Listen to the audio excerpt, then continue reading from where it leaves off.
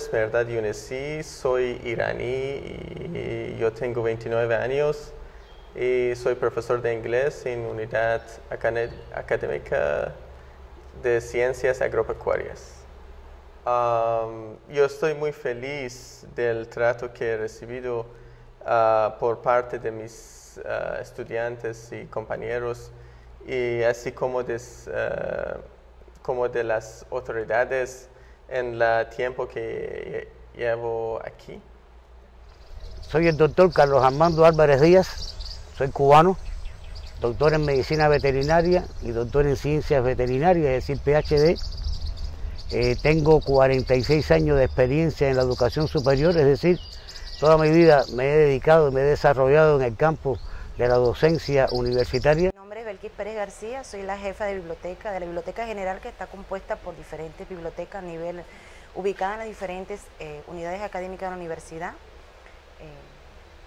Eh, cada una de las bibliotecas tiene dos personas trabajando, realizando la prestación. Mi nombre es Mauro Nircho, eh, soy biólogo marino egresado a la Universidad de Oriente en Venezuela, con maestría en ciencias marinas y con doctorado en ciencias biológicas en Brasil.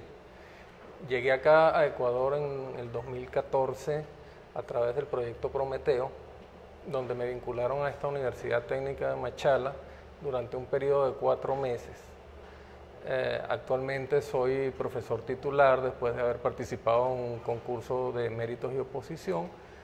Ah, mi aporte eh, para la Universidad Técnica de Machala es académicamente eh, respaldar mis conocimientos con materiales nuevos y ilustrados para que el estudiante tenga ese deseo de aprender. Bueno, ante todo hay que agradecer a las autoridades por la importancia, el mérito que le han dado a las bibliotecas en este tiempo que he estado aquí. Eh, el ingeniero César Quesada nos ha dado un mérito, nos ha dado la oportunidad, eh, la facilidad para poder desarrollar todo el proceso bibliotecario, porque ustedes conocen que antiguamente las bibliotecas no eran, eh, se puede decir de una forma, no tenía visibilidad a nivel de universidad y a nivel de países, si no había esa importancia, no se le acreditaba esa importancia a las bibliotecas teniendo presente que eh, se dice, no lo digo yo, que la biblioteca es el corazón de una universidad. Considero que la universidad paulatinamente ha, ido dando pasos muy positivos, que ha ido consolidando la parte de la academia, la parte de la investigación, y que la universidad debe, para mi criterio personal, está en condiciones de eh, aprobar el proceso de acreditación próximo, al cual eh, estaremos sometidos realmente en breve tiempo.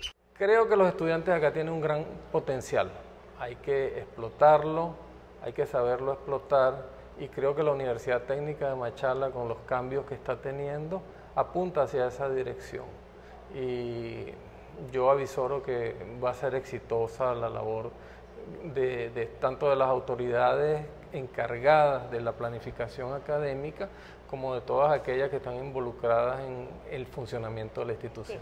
Eh, la biblioteca es un espacio no solamente para leer, es un espacio donde se puede aprender, donde se investiga, donde se aprende cada día más. Entonces invito a todos los estudiantes que vengan, visiten la biblioteca para que conozcan lo que tienen para sus carreras, que se alfabeticen en la utilización de todos nuestros servicios e información. Y que nosotros este año tenemos más proyectos para acercarnos más a los estudiantes y docentes estado en Quito, tengo amigos docentes de universidades y ha presenciado estándares de calidad uh, parecidos a los de la UTEMACH. Me refiero ah, a que estamos preparados ah, para obtener una mejor categoría sin problema alguno.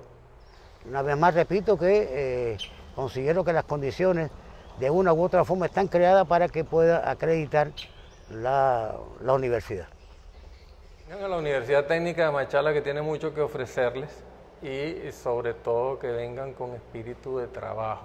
Eh, las cosas se logran es trabajando y brindando el mayor esfuerzo.